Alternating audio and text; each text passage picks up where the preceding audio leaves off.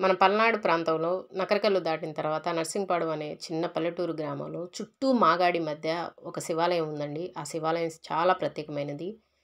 దాన్ని ఎవరైనా సందర్శించాలనుకుంటే చూడండి. నేనైతే చాలాసార్లు వెళ్ళాను. చాలా స్పెషల్ దేవాలయం అండి. దీని గురించి పెద్ద వీడియో కూడా వీడియో పెట్టాను. ఒకసారి చూడండి అందరూ.